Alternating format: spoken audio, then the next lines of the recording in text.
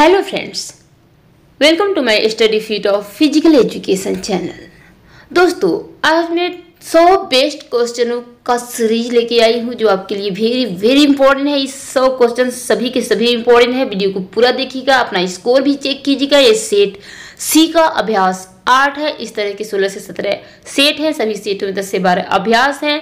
छः, सात, आठ हज़ार के आठ हज़ार क्वेश्चन है, जो मैं डेली बेसिस पे आपको प्रैक्टिस करा रही हूँ। एंड दोस्तों, यदि आप फ़िज़िकल एजुकेशन के किसी भी कंपटीशन एग्ज़ाम का प्रिपरेशन कर रहे हैं, चाहे यूपी टीजीटी पीजीटी हो यूपीएलटी ग्रेड हो एमपी टेट हो अदर स्टेट के टीजीटी पीजीटी हो, सभी के लिए मेरे चैनल पे topic wise theory session and chapter wise MCQs one liner question and previous year MCQs सभी चीज़ें चैनल के प्लेलिस्ट में जाइए चेक कीजिए, मिल जाएगा। तो दोस्तों, समय नष्ट न करते हुए चलते हैं आज के क्वेश्चन की तरफ़। तो दोस्तों क्वेश्चन है कि फुटबॉल के खेल में शरीर के किस अंग में चोट अधिक लगती है? तो दोस्तों इसका सही जवाब है, टखने में एंकल में। फुटबॉल खेल में सबसे ज़्यादा चोट लगती है तो एंकल में।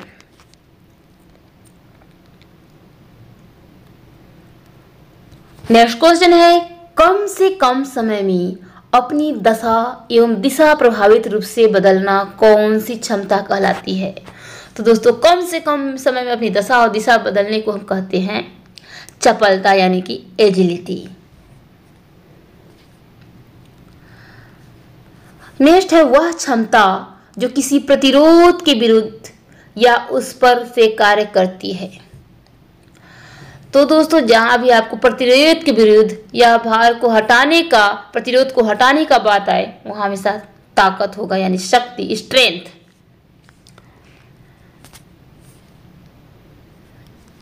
नेक्स्ट है लचकता यानी फ्लेक्सिबिलिटी किस खिलाड़ी के लिए मूर्त रूप में आवश्यक होती है।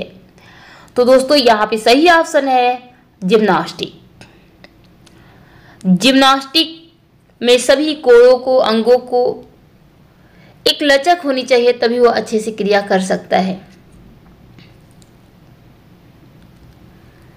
नेक्स्ट है सहनशीलता यानी इंड्योरेंस को विकसित करने वाली विधि।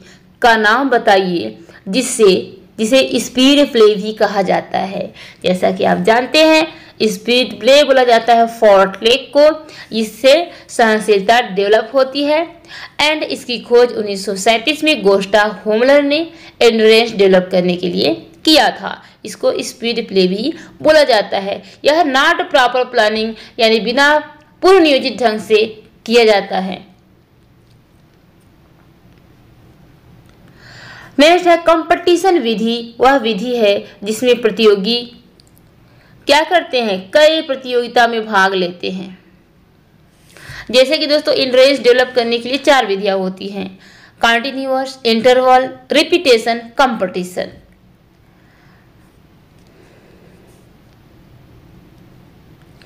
next है किसी अभ्यास के बिना ऑक्सीजन ग्रहित कर क्रिया रच करना क्या कहलाता है? यहाँ पे क्वेश्चन है, किसी अभ्यास को बिना ऑक्सीजन ग्रहण किए, कोई भी अभ्यास आप कर रहे हैं, बिना ऑक्सीजन ग्रहण करे क्रिया करना क्या कहलाता है दोस्तों? वह कहलाता है एनारोबिक ठीक? अनएरोबिक क्रिया कहलाता है। और वही ऑक्सीजन के साथ क्रिया करना क्या कहलाता है? एरोबिक ऑक्सीजन के साथ क्रिया करना क्या कहलाता है? एरोबिक। दोस्तों, एरोबिक एंड एरोबिक। जो ऑक्सीजन के साथ एरोबिक शब्द जब आए तो वो इंड्योरेंस वाला जो दो मिनट से ज़्यादा की अभ्यास होगा, उस सब में एरोबिक क्षमता डेवलप होगा। ऑक्सीजन के साथ किया जाएगा। अनएरो एरोबिक व्यायाम जो है, लघु, मध्य, दीर्घ, तीन प्रकार के होते हैं। सबसे पहले जानते हैं अनएरोबिक व्यायाम। अनएरोबिक व्यायाम 25 सेकेंड से कम को लघु अनएरोबिक कहते हैं। 25 से 60 सेकेंड के मध्य जो भी क्रिया होती है, उसके मध्यम अनएरोबिक कहते हैं, और 60 से 120 सेकेंड तक, यानी दो मिनट तक, दीर्घ अनएरोबिक कहते हैं। ये तो हो गया आपका दो मिनट 25 सेकेंड से दो मिनट तक की जो क्रियाएँ हैं, एनएरोबिक में आ जाएँगी। यानी ऑक्सीजन के बिना किया जाएगा। और कम समय की क्रियाएँ। और एरोबिक में दो मिनट से ज़्यादा की जितनी क्रियाएँ होगी, एरोबिक में आ जाएँगी ऑक्सीजन के साथ। जैसे कि लघु एरोबिक दो से आठ मिनट, मध्यम एरोबिक आठ से तीस मिनट और दीर्घ एरोबिक जो है साठ मिनट या इससे भी ज़्यादा। नेक्स्ट क्वेश्चन है, गोनियोमीटर का प्रयोग किसे मापने के लिए किया जाता है? तो दोस्तों, यह फ्लेक्सिबिलिटी यानी लचकता को मापने के लिए किया जाता है। नेक्स्ट है, खेल से पहले खिलाड़ी को क्या करना चाहिए? तो खेल से पहले वार्म अप करना चाहिए, जिससे शरीर गर्म हो जाता है फ्लेक्सिबिलिटी बढ़ जाती है एंड खेल के बाद क्या करना चाहिए? कूल डाउन करना चाहिए। नेक्स्ट है अच्छा लचीलापन किस पर निर्भर करता है? तो दोस्तों ज्वाइंट पर निर्भर करता है। अच्छा लचीलापन किस पर निर्भर करता है? ज्वाइंट पर, जोड़ पर निर्भर करता है। नेक्स्ट है मानव शरीर का संतुलन कौन बनाए रखता है दोस्तों? तो हाथ, आँख गला गला, कान आदि दिया हुआ है। जैसा कि आपने सही ऑप्शन टिक कर दिया होगा, कान में कान में इंडोलिफ नाम का द्रव पाया जाता है, जो हमारे शरीर को संतुलित बनाए रखता है। तो कर के दो कार्य हैं। कर के कौन कौन से सुनना और शरीर का संतुलन बनाना। नेक्स्ट कुश्ती का खिलाड़ी अपने शरीर को नीचे झुकाकर किस यांत्रिकी का, कारक का लाभ लेता है? तो दोस्तों, यह लेता है आपका केंद्रीय गुरुत्वाकर्षण। सेंटर ऑफ़ ग्रेविटी का वो क्या लेता है? लाभ लेता है। क्योंकि जो आधार है, जितना ही नीचे रहेगा, गुरुत्वाकर्षण सीजी पॉइंट उतना, संतुलन उतना ही अच्छा रहेगा। नेक्स्ट है, निम्न से जड़त्व शुरुआत के नियम कौन से हैं? तो जड़त्व का नियम दोस्तों, दो चीज़ों पर काम करता है। एक तो जड़त्व का नियम कहता है न्यूटन का प्रथम नियम है जड़त्व का नियम, द्वितीय त्वरण का नियम तृतीय है आपका क्रिया प्रतिक्रिया का नियम जड़त्व का नियम का कहना है कि यदि कोई वस्तु विरामावस्था में है तो वह विरामावस्था में ही रहेगी। और गति अवस्था में है तो गति अवस्था में ही रहेगी, जब तक कि उस पर कोई वाह बल न लगाया जाए। तो जड़त्व के नियम के दो फ़ेज़ है एक गति का जड़त्व एक आराम का जड़त्व तो यहाँ पे आपका हो जाएगा क और ख दोनों। गति का जड़त्व और आराम का जड़त्व। क, ख दोनों हो जाएगा। नेक्स्ट है, न्यूटन के कितने नियम है तो आप सबको पता है, तीन नियम है। जड़त्व का नियम, त्वरण का नियम क्रिया प्रतिक्रिया का नियम। नेक्स्ट है, जड़त्व का नियम। न्यूटन का कौन सा नियम है दोस्तों? तो प्रथम नियम है। इसको लॉ ऑफ़ इनर्सिया गैलीलियो का नियम भी कहते हैं। नेक्स्ट है मानव शरीर में कितने प्रकार के तल, यानी प्लेन पाए जाते हैं दोस्तों? तो तीन प्रकार के पाए जाते हैं। Sagittal frontal and horizontal sagittal शरीर को दाएँ बाएँ भागों में बांटता है और गति इसमें आगे पीछे होती है, जैसे फ्लैक्शन एक्सटेंशन एंड फ्रंटल जो है, शरीर को आगे पीछे बांटता है और इसमें गति दाएँ बाएँ होती है, जैसे एबडक्शन एडक्शन एंड हॉरिजेंटल जो है शरीर को ऊपर नीचे भाग, बांटता है। या शरीर में रोटेटरी एंड घुड़न गति होती है, सभी गतियाँ होती है तो इसको सरकमडक्शन बोलते हैं। नेक्स्ट बाह्य बल यानी एक्सटर्नल फोर्स निम्न में से कौन प्रदान करता है। तो दोस्तों एक्सटर्नल फोर्स इस ऑप्शन में घर्षण, यानी कि घर्षण प्रदान करता है। जैसे कि दोस्तों, आंतरिक बल। बल दो प्रकार का होता है, आंतरिक बल एंड बाह्य बल। आंतरिक बल जो होता है, वो मांसपेशी द्वारा लगाया जाता है।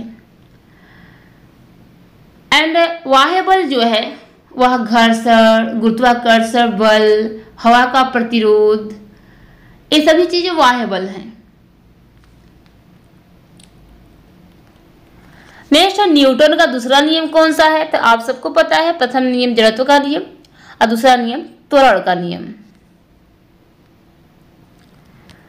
नेक्स्ट है न्यूटन के तीसरे नियम का उदाहरण क्या है दोस्तों? तो तीसरे नियम का उदाहरण है अभिकेंद्रक या अपकेंद्रक बल। सेंट्रीपिटल या सेंट्रीफिगल बल। यानी कि आप किसी वस्तु पर जितना बल लगाएँगे, वो वस्तु भी आप पर उतना ही बल लगाएगा। क्रिया प्रतिक्रिया का नियम। अभिकेंद्रक मतलब केंद्र की ओर बल अपकेंद्र मतलब बाहर की ओर बल। नेक्स्ट है, विराम के विपरीत स्थिति को क्या कहते हैं? तो दोस्तों, विराम, कोई वस्तु विरामावस्था में है? अगर हम वाह बल वाह बल लगाएँगे तो गति अवस्था में हो जाएगा। तो विराम की विपरीत स्थिति को हम क्या कहेंगे? गति यानी मोशन। ठीक है?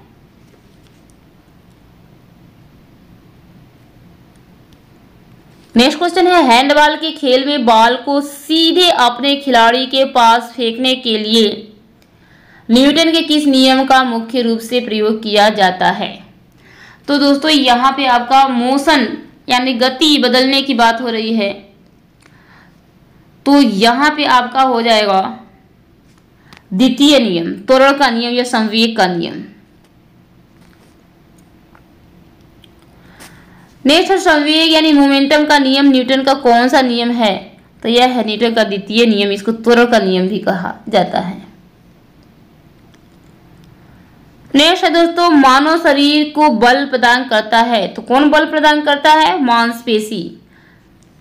ठीक है, मानव शरीर में बल, शक्ति की बात करें तो मसल्स ही होगा हमेशा। ठीक है?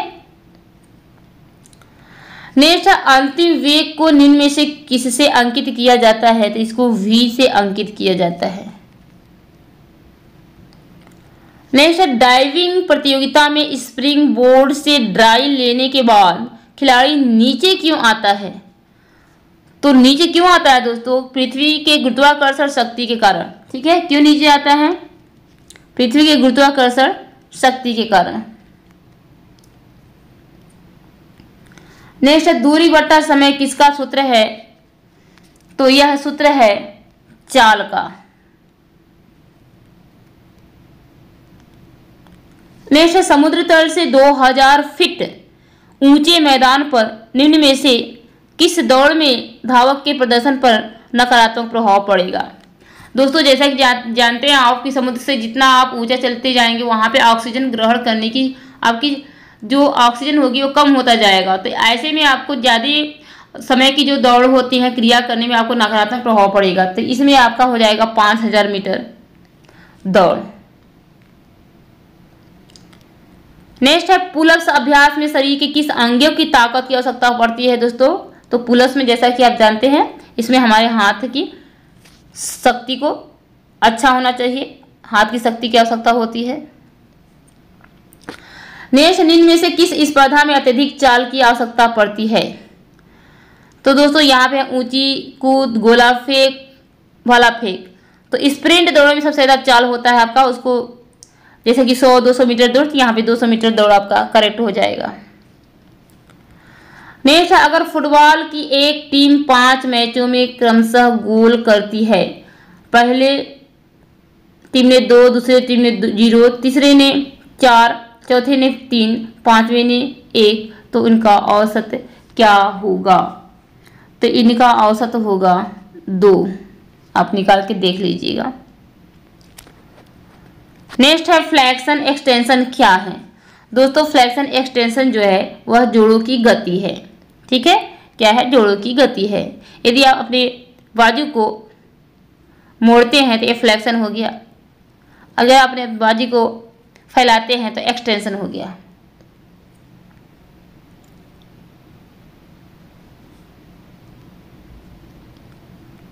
नेक्स्ट क्वेश्चन है, एक व्यक्ति किस शारीरिक क्षमता के कारण हाफ़ मैराथन की दौड़े पूरा कर लेता है?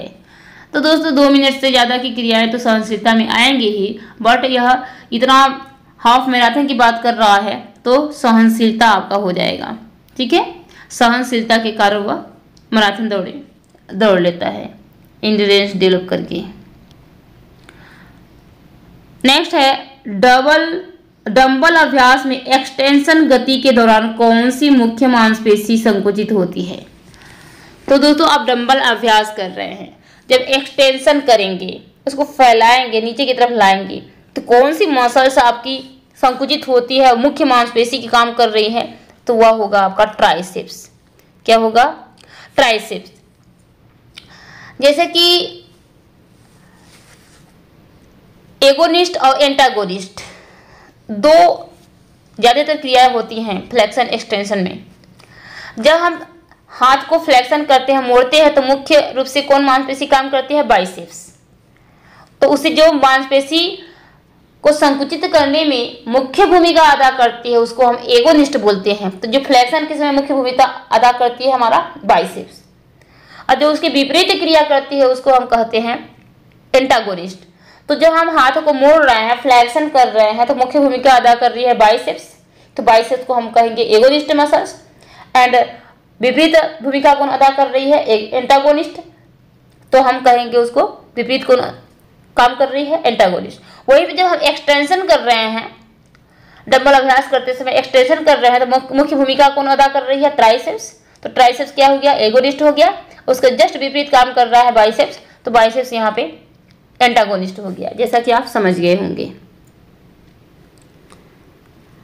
नेक्स्ट है, शरीर की ऊंचाई मापने के लिए किस यंत्र का प्रयोग किया जाता है? तो दोस्तों, ऊंचाई और लंबाई मापने के लिए स्टेडियोमीटर का प्रयोग किया जाता है एंड स्पायरोमीटर का श्वसन क्षमता, फेफड़ों की क्षमता मापने के लिए वेट मशीन का भार मापने के लिए डायनोमीटर का शरीर की बनावट मापने के लिए डायनमोमीटर का शरीर की शक्ति मापने के लिए। नेक्स्ट सौ मीटर का धावक निम्न में किस प्रकार के जूते पहनता है? दोस्तों तो वह स्पाइक्स वाले जूते पहनते हैं जिसमें कील लगा होता है।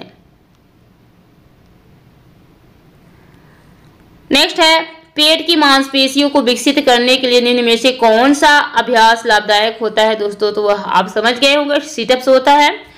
सीटअप्स में क्या होता है? सीधा सीधा हमारा फोर्स जो है, वह पेट पे लगता है। यह कौन सा लीवर है? कौन सा उत्तोलक कल आएगा दोस्तों? जहाँ पे फोर्स बीच में लगेगा और एक तरफ़ फलक्रम रहेगा एंड एक तरफ़ आपका रेसिस्टेंस रहेगा। तो फोर्स बीच में रहेगा या तृतीय प्रकार का उत्तोलक रहेगा। सिटअप्स कौन प्रकार का उत्तोलक है? तृतीय प्रकार का। ये भी ध्यान में रखिएगा। नेक्स्ट किसी भी खिलाड़ी के प्रदर्शन में सुधार करने के लिए जो विधियाँ या साधन अपनाए जाते हैं, उन्हें क्या कहते हैं? तो दोस्तों, इसको कहते हैं एर्गोजेनिक एड्स। गलत तरीके से सेवन करना हो जाएगा तो डोपिंग में आ जाएगा। प्रदर्शन बढ़ाने के लिए प्रतिबंधित दवाओं का प्रयोग करेगा तो डोपिंग में आएगा। लेकिन जब उसको सही तरीके से सही चीज़ों का प्रयोग करके किसी खिलाड़ी के प्रदर्शन में सुधार करने की जो विधियाँ साधन होती हैं, उसे कहते हैं एगोजेनिक एड्स। ये पाँच प्रकार के होते हैं, जैसे कि न्यूट्रिशन एड यानी कि पोषक तत्व, जैसे कार्बोहाइड्रेट प्रोटीन वसा विटामिन खनिज लवण जड़, ये सब होता है। एंड फिजियोलॉजिकल एड्स यानी कि ऊंचाई पर अभ्यास करना, ये करना, ये सब आ जाता है। एंड साइकोलॉजिकल एड्स यानी कि किसी को उत्साह बढ़ाना क्लैपिंग करना, इस प्रकार की चीज़ें आ जाएगी। एंड मैकेनिकल में आपका जूते कैसा होना चाहिए एंड उसके जो ड्रेस है वो कैसा होना चाहिए, ये सब सकारात्मक प्रभाव डालते हैं। और एक होता है औषधि साध्य, जिसमें आपका बहुत प्रकार की औषधियाँ आती हैं। जैसा कि एर्गोजेनिक एड्स के बारे में जानने के लिए आप डोपिंग वाले से प्लेलिस्ट में जाइए और उसमें डोपिंग के बारे में डिटेल में जानकारी दिया गया है और एर्गोजेनिक एड्स क्या है, इसके बारे में भी डिटेल में जानकारी दिया गया है। यहाँ पे मैं केवल क्वेश्चन का आंसर बताऊँगी। नेक्स्ट दोस्तों आर आई सी ई में आर से क्या तात्पर्य है? प्राथमिक चिकित्सा का ये आपका सूत्र है आर आई सी ई यानी सबसे पहले रेस्ट आर से रेस्ट आई से आइस यानी बर्फ़ का प्रयोग सी से कंफ्रेजन यानी उस पर दबाव डालना ए से इलिवेशन यानी कि हृदय की ऊंचाई से ऊपर उठाना। ये आपका प्राथमिक चिकित्सा के आर आई सी सूत्र है। तो यहाँ पे आर का मतलब होता है रेस्ट आर का क्या मतलब होता है? रेस्ट अब इसमें चेंज हो गया है। ये आर आई सी ई के स्थान पर पी आर आई सी ई हो गया है। P R I C E S हो गया है। ठीक है? पी से मतलब है प्रोटेक्शन यानी बचाओ आर से रेस्ट आई से बर्फ़ का प्रयोग। सी से कंप्रेजन यानी दबाव डालना। ई से इलिवेशन यानी कि हृदय की ऊंचाई से ऊपर उठाना। यस से हो गया सपोर्ट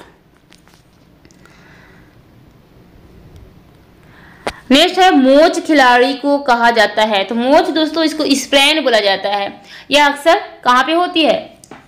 लिगामेंट के अत्यधिक खिंच की तो लिगामेंट कहाँ पे होती है? हड्डियों के दो स्थानों, दो हड्डियों को जोड़ों पर जोड़ती है लिगामेंट तो यहाँ पे जोड़ आपका करेक्ट हो जाएगा। नेक्स्ट क्रिकेट के खेल में अगर किसी क्षेत्र रक्षक को गेंद पैर में ज़ोर से लग जाए और गुम्बड हो जाए तो प्राथमिक उपचार क्या करना चाहिए? तो दोस्तों, प्राथमिक उपचार में बर्फ़ का प्रयोग करना चाहिए। किसका? बर्फ़ का प्रयोग। बर्फ़ का प्रयोग कर करने की चिकित्सा विधि को क्रायोथेरेपी बोला जाता है। नेक्स्ट दोस्तों, बहुलक यानी मोड किसका माप है? तो यह केंद्रीय प्रवृत्ति के माप के अंतर्गत आते हैं बहुलक, यानी कि, और आते हैं आपका मेल, मिलियन, मोड, यानी कि समांतर, माध्य, माधिका और बहुलक और को रिलेशन यानी कि सहसंबंध, ये सब आते हैं केंद्रीय प्रवृत्ति के माप के अंतर्गत। नेक्स्ट है माध्य यानी मीन के संबंध में क्या सही है? तो दोस्तों, जो मीन है, इसमें एक औसत निकाला जाता है। यह केंद्रीय प्रवृत्ति माप का सबसे विश्वसनीय केंद्रीय प्रवृत्ति माप का माना जाता है। नेक्स्ट दोस्तों, क्रिकेट के दो टीमों के एक वर्ष के परिणामों के मध्य संबंध निकालने के लिए किस सांख्यिकी का प्रयोग किया जाएगा? तो उसमें दोनों में कोरिलेशन निकाला जाएगा, सहसंबंध। ठीक है?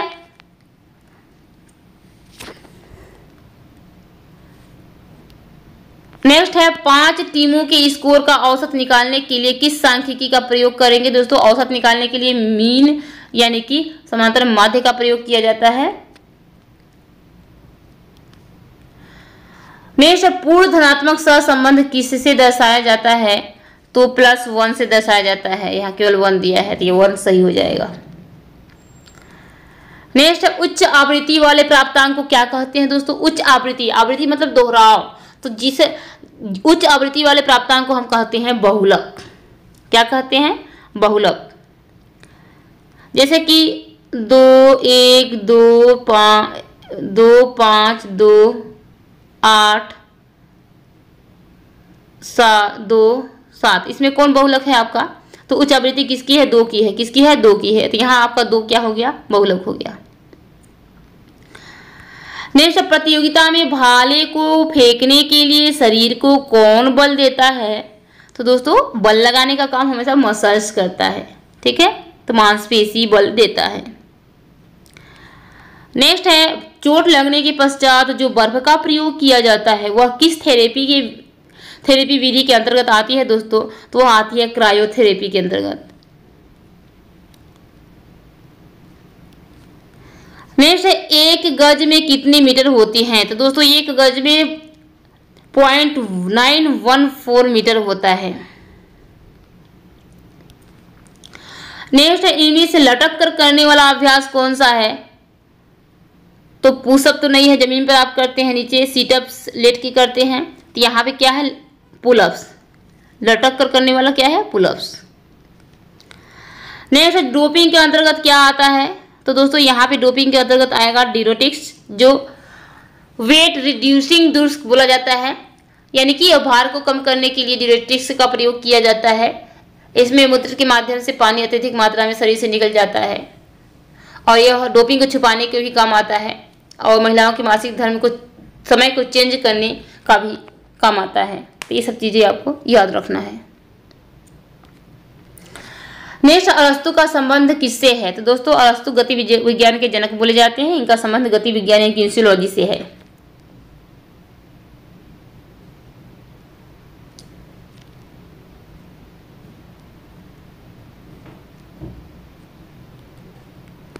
नेक्स्ट, खिलाड़ी दौड़ते समय हाथ और पैरों से कौन सी गति करता है दोस्तों? तो वह करता है कोणीय गति। देखते होंगे जब चलते हैं तो आपका कोण बढ़ता है या घटता है। तो एक उनका एंगुलर मूवमेंट होता है, कोणीय गति करता है। नेक्स्ट डोपिंग पर नियंत्रण रखने वाला अंतर्राष्ट्रीय संस्था कौन सी है दोस्तों? यह है वाडा वर्ल्ड एंटी डोपिंग एजेंसी 10 नवंबर उन्नीस सौ निन्यानवे को इसका गठन हुआ। एंड इसके वर्तमान अध्यक्ष हैं बिटोल्ड बांका।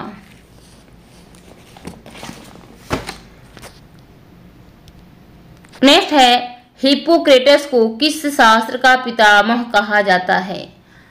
तो दोस्तों, हिपोक्रेटस जो है, चिकित्सा शास्त्र के पितामह इनको कहा जाता है। सबसे पहले चिकित्सा विधि का इन्होंने ही खोज किया।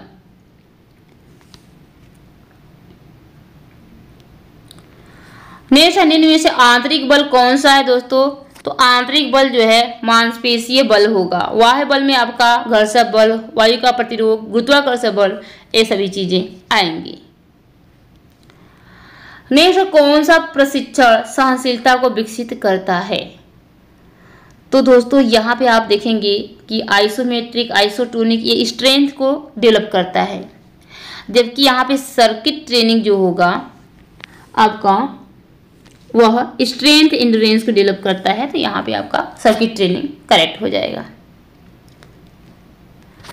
नेक्स्ट है, खेलों में चोट लगने के पश्चात प्राथमिक उपचार हेतु थंब रूल किसे कहा जाता है? तो दोस्तों, जो आर आई सी ई पद्धति है प्राथमिक उपचार की, उसी को हम कहते हैं थंब रूल क्या कहते हैं? थंब रूल नेक्स्ट है सिग्मा एफ़ डी बटा एन, किसका सूत्र है? तो यह दोस्तों माध्य यानी कि मीन का सूत्र है।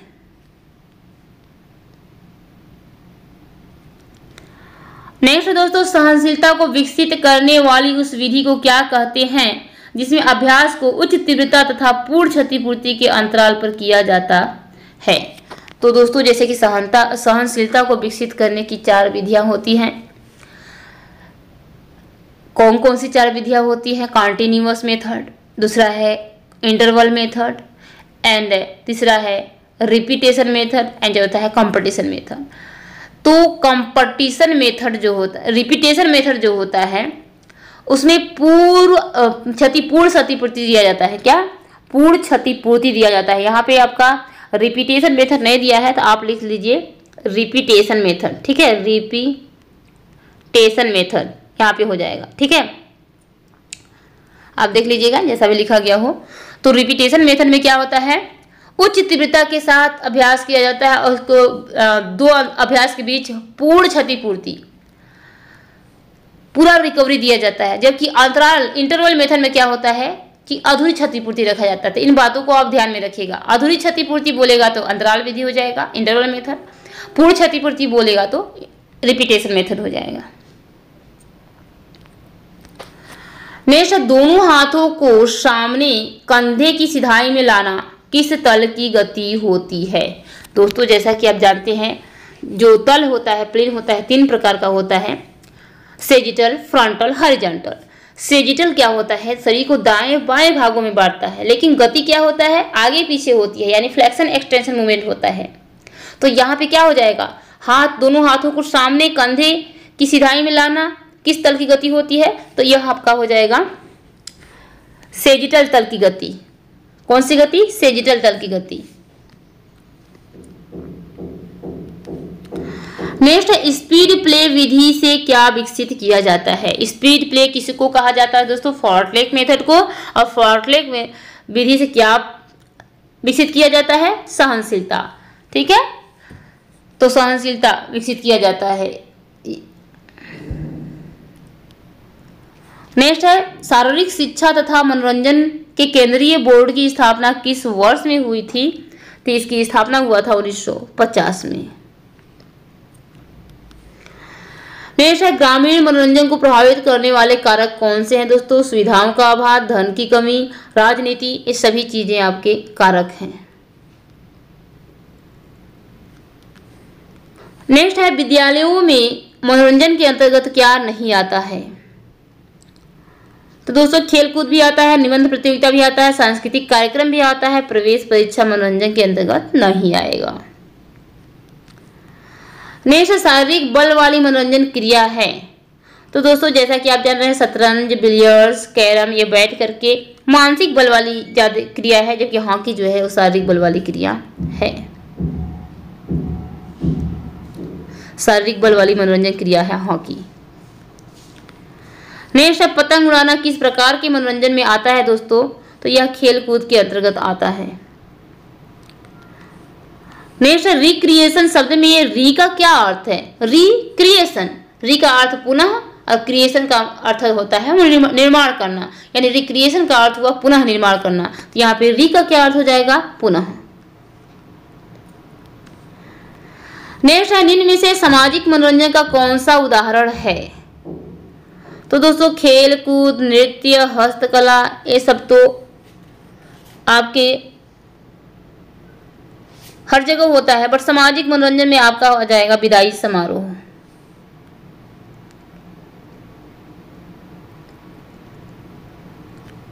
नेक्स्ट दोस्तों, चिकित्सा शास्त्र में रगड़ क्या होता है? दोस्तों, कहीं ऐसे जगह पे गिर जाना जिससे रगड़ हो जाए चोट लग जाए त्वचा के ऊपरी परत में तो उसे हम कहते हैं एवरेजन। क्या कहते हैं? एवरेजन।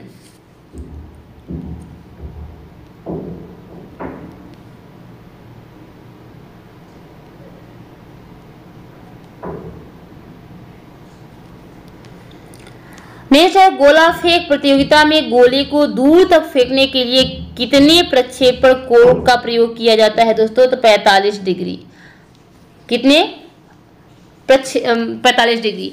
प्रक्षेपण विधि के अनुसार किसी भी चीज़ को कितना कोण पर फेंका जाए कि वो अधिक से अधिक दूरी तय करे। तो 45 अंश पर फेंकने से ज़्यादा दूरी तय करती है 90 अंश के कोण पर फेंकने से कोई भी दूरी तय नहीं करती है। नेक्स्ट पैराफिन बाथ नामक चिकित्सा विधि में किसका प्रयोग किया जाता है? तो दोस्तों, पैराफिन बाथ में मोम का प्रयोग किया जाता है। किसका प्रयोग? मोम का प्रयोग। और पानी से पानी से चिकित्सा करने की विधि को हाइड्रोथेरेपी कहा जाता है। नेक्स्ट है लिगामेंट क्या है? दोस्तों लिगामेंट या मुलायम उत्तक है। क्या है? मुलायम उत्तक है, जो दो हड्डियों को जोड़ों पर जोड़ती है। नेक्स्ट है, युक्ति यानी जो टिप्स होता है, कब अपनाई जाती है? तो आपको ध्यान रखना है, युक्ति यानी टिप्स जो है, वो खेल के दौरान अपनाई जाती है और स्ट्रेटजी यानी योजना जो है, खेल के पहले बनाई जाती है। दोनों चीज़ें याद भी रखिएगा। नेक्स्ट है बैलिस्टिक विधि किससे संबंधित है? तो static ballistic dynamic PNF method ये सभी फ्लेक्सिबिलिटी यानी लचकता को विकसित करने की विधियाँ हैं। यहाँ पे आपका फ्लेक्सिबिलिटी यानी कि लचकता हो जाएगा। नेक्स्ट क्वेश्चन है, मैदान पर खिलाड़ी को चोट लगने के पश्चात जो स्प्रे लगाई जाती है, उसमें कौन सी गैस भरी होती है? तो उसमें मिथेन या इथाइल क्लोराइड गैस भरा रहता है। नेक्स्ट है, वार्म अप कब किया जाता है? तो आप सबको पता है, खेल के पहले किया जाता है। खेल के बाद क्या? कूलिंग डाउन किया जाता है। नेक्स्ट है, शरीर में इलेक्ट्रोलाइट्स की कमी से मांसपेशियाँ अकड़ने लगती हैं, उसे हम क्या कहते हैं? तो दूसरे, दोस्तों, उससे हम कहते हैं क्रैम्प। उसे क्या कहते हैं? क्रैम्प। और स्प्रेन क्या होता है? जब लिगामेंट में अत्यधिक खिंचाव आ जाता है, मोच आ जाता है, उसे स्प्रेन कहते हैं। जब टेंडर मांसपेशी में अत्यधिक खिंचाव, चोट आ जाता है, उसे हम कहते हैं स्ट्रेन। नेक्स्ट है, एक व्यक्ति की एक मिनट में श्वास दर कितनी होती है? तो मिनिमम आपका होता है बारह से बीस बार। बारह से बीस बार। जब आप कोई अभ्यास करते हैं तो आपका श्वास दर चालीस से पचास बार हो जाता है।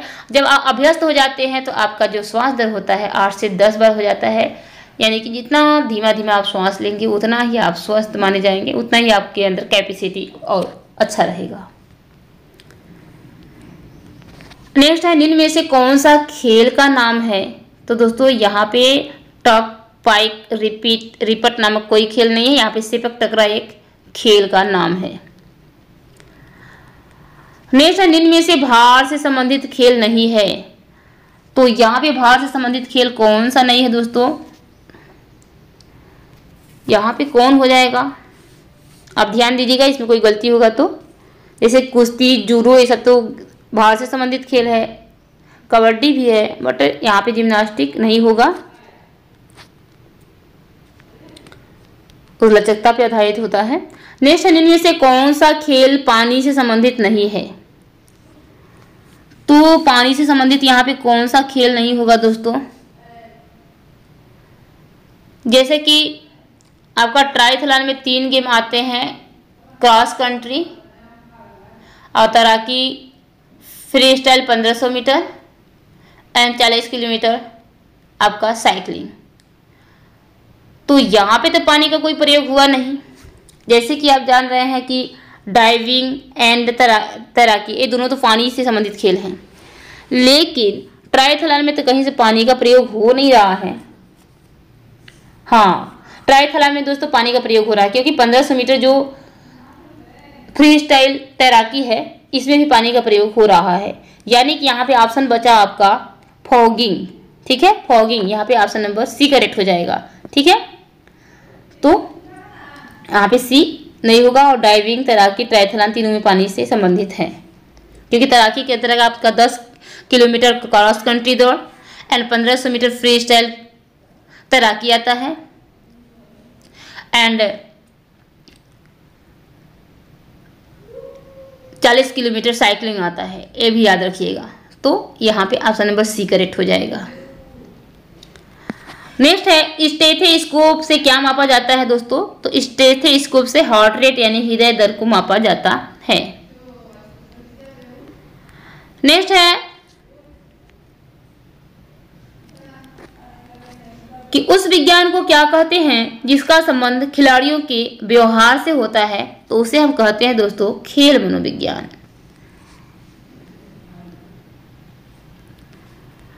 नेक्स्ट है इनमें से किस चिकित्सीय विधि में ठंडे या गर्म पानी का प्रयोग किया जाता है? तो उसे वो होता है कंट्रास्ट बाद यह सूजन को कम करने के लिए ज़्यादातर प्रयोग होता है।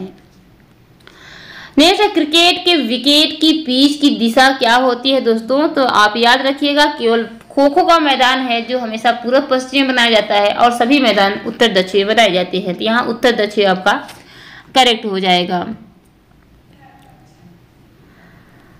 नेक्स्ट दोस्तों स्ट्रेटजी यानी योजना कब बनाई जाती है? तो यह खेल के पहले बनाई जाती है। वहाँ पे युक्ति पूछता तो वहाँ पे टैक्सिस स्ट्रेटजी और टैक्सिस स्ट्रेटजी यानी योजना खेल से पहले बनाई जाती है। टैक्सिस यानी कि युक्ति जो है खेल के दौरान कब क्या प्रयोग करना है, उसको युक्ति कहते हैं। तो खेल के दौरान युक्ति का प्रयोग करेंगे और खेल से पहले स्ट्रेटजी यानी योजना बनाएँगे। नेक्स्ट है फिजियोथेरेपी नामक शब्द में थेरेपी का क्या अर्थ है? फिजियो मतलब शारीरिक, फिर थेरेपी मतलब चिकित्सा। यानी कि फिजियोथेरेपी में थेरेपी का अर्थ होता है उपचार, यानी चिकित्सा। नेक्स्ट है, गुरुत्वाकर्षण के नियम की खोज किसने किया था दोस्तों? तो न्यूटन ने किया था। किसने किया था? न्यूटन ने। गति का नियम और गुरुत्वाकर्षण का नियम दोनों का खोज किया था। नेक्स्ट है, घर्षण बल किस प्रकार का बल है दोस्तों? तो घर्षण बल जो है वाह बल है। क्या है? वाह बल है। जैसे कि खुरदुरी सतह पर घर्षण बल ज़्यादा होता है, चिकनी सतह पर घर्षण बल नहीं होता है। जैसे कि केले के छिलका या चिकनी सतह पर आपका पैर पड़ता है तो तुरंत घर्षण के न रहने के कारण तुरंत आप फिसल के गिर जाते हैं। आंतरिक बल हमेशा मांसपेशी द्वारा लगता है, ध्यान में रखिएगा। वाह बल में घर्षण बल, हवा का प्रतिरोध, गुरुत्वाकर्षण बल, ये सभी आ जाएँगे। नेक्स्ट है, खाली समय का सदुपयोग करने हेतु जो क्रियाएँ की जाती है, उन्हें क्या कहा जाता है दोस्तों? तो उसे कहा जाता है मनोरंजन क्रियाएँ। नेक्स्ट है दोस्तों, शक्ति को विकसित करने वाली विधि कौन सी है? तो शक्ति को विकसित करने वाली विधि यहाँ पे कौन सी है दोस्तों? यहाँ पे जो सटल रन है, आपका एजिलिटी है, यानी चपलता को विकसित करता है। दस किलोमीटर दौड़ जो है आपके इंडोरेंस यानी सहनशीलता को डेवलप करता है। सौ मीटर दौड़ जो स्पीड को डेवलप करता है, जबकि आइसोमेट्रिक आइसोटोनिक आइसोकाइनेटिक जो मेथड है, वो आपको स्ट्रेंथ को डेवलप करता है तो यहाँ पे आइसोमेट्रिक आपका करेक्ट हो जाएगा। नेक्स्ट है दोस्तों, साहित्यिक गतिविधि में मनोरंजन विधि कौन सी है? तो साहित्यिक में आपका निबंध लेखन आ जाएगा, ठीक है? नेक्स्ट क्वेश्चन है, निम्न में से कौन मनोरंजन के अंतर्गत नहीं आता है? तो दोस्तों, यहाँ पे आपका कौन सा हो जाएगा जो मनोरंजन के अंतर्गत नहीं आएगा? पारिवारिक मनोरंजन है, व्यवसायिक मनोरंजन है, सरकारी मनोरंजन है, बस रेल मनोरंजन के अंतर्गत नहीं आएगा।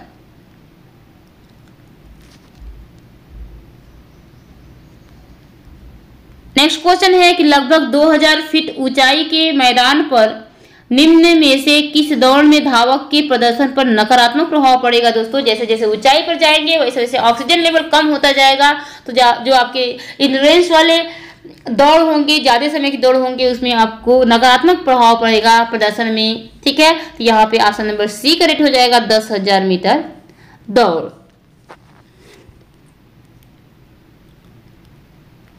मेष निम्न में से किस दौड़ में सह, सहनशीलता की आवश्यकता पड़ेगी? तो दोस्तों, यहाँ पे 100 मीटर दौड़ 110 मीटर बाधा दौड़, और चार गुड़े सौ मीटर रिले स्प्रिंट दौड़ है। इस सब में आपका स्पीड डेवलप होता है एनएरोबिक प्रकार की क्रियाएँ हैं, जबकि 5000 मीटर की दौड़, इसमें इंड्रेंस डेवलप होगा एरोबिक क्षमता डेवलप होगा। नेक्स्ट क्रिकेट में एक टीम के प्रथम अच्छे पाँच खिलाड़ियों का स्कोर क्रमशः 112, बयासी तिहत्तर पचास तिरालीस है तो इनका औसत क्या होगा? तो इनका औसत होगा बहत्तर। नेक्स्ट है किस अभ्यास में हाथों की ताकत की आवश्यकता पड़ती है? तो सीटअप्स में दोस्तों यह पेट के स्ट्रेंथ इंड्योरेंस को डेवलप करता है। तो यहाँ पे आपका पुलअप हो जाएगा। हाथों की ताकत में क्या हो जाएगा? पुलअप हो जाएगा।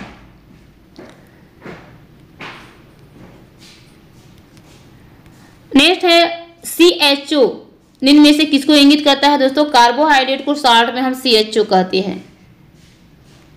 नेक्स्ट है, सेजिटल अक्ष जैसा निम्न में से क्या है? तो सेजिटल अक्ष जैसे कि आपका ये ये शरीर है। ये क्या है? आपका शरीर है। आपका ये शरीर है। तो इसको हम बीचों बीच ऐसे करेंगे, जो दाएँ बाएँ भागों में बांट रहा है। तो वर्टिकल है। तो इसको हम क्या कहेंगे? सर्जिकल अर्च जैसा इनमें से कौन है? वर्टिकल अर्च है। ठीक है? तो दोस्तों, आज के लिए बस इतना ही। ये सौ क्वेश्चन आपके लिए वेरी इंपॉर्टेंट है।